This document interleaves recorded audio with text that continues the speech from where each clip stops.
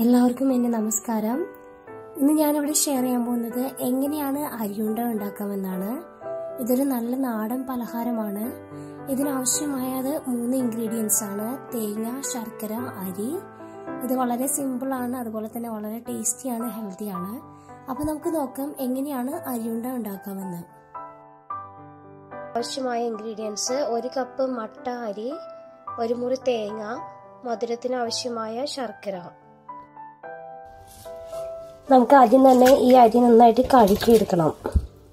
കൂടായ sauce പാനിലേക്ക് കഴുകി വെച്ച അരിയിട്ട് നമുക്ക് നന്നായിട്ട് വറുത്ത് കൊടുക്കണം ഇത് നന്നായിട്ട് വറുത്തെടുക്കണം.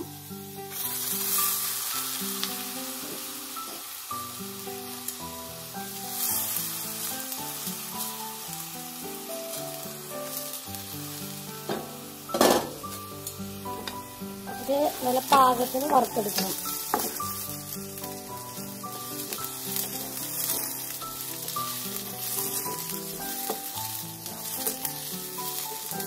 ഇത് നല്ല രീതിയിൽ വറുത്ത് കിട്ടിയിട്ടുണ്ട്. അപ്പോൾ നമുക്ക് ഇതിന് പൊടിച്ചെടുക്കണം. അപ്പോൾ അതിക്ക് മുമ്പായിട്ട് ഇതിന് നന്നായിട്ട് തണുക്കാൻ വേണ്ടി നമുക്ക് വെക്കാം. തരി നന്നായിട്ട് തണുത്തിട്ടുണ്ട്. ഇനി നമുക്കിത് നന്നായിട്ട് നൈസായിട്ട് പൊടിച്ചെടുക്കണം.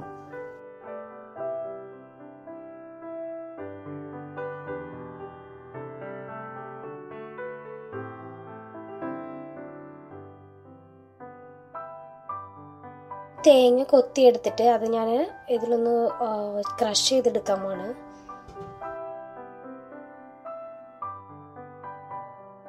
ഇതിലിപ്പോൾ ശർക്കരയുണ്ട് തേങ്ങയുണ്ട് നന്നായിട്ട് പൊടിയായിട്ട് ക്രഷ് ചെയ്തത്.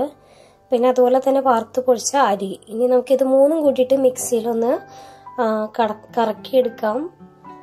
അപ്പോൾ നമുക്കത് ഇങ്ങനെ ഉരുട്ടി ലഡു പോലെ എടുക്കാവുന്ന ഒരു പരുവത്തിലാവും. അപ്പോൾ നമുക്കത് മൂന്നും കൂടി മിക്സ് ചെയ്യാം.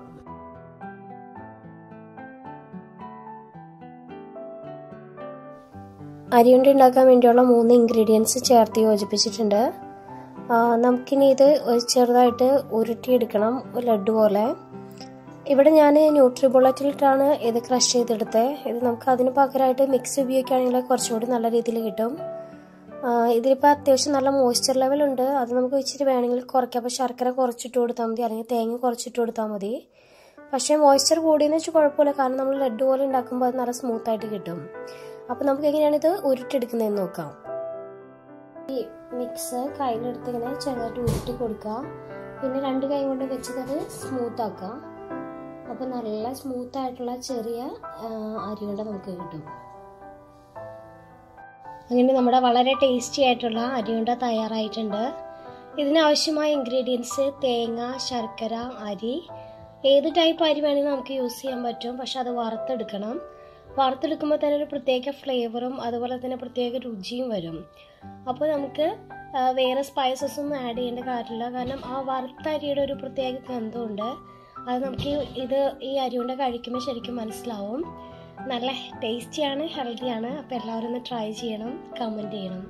താങ്ക്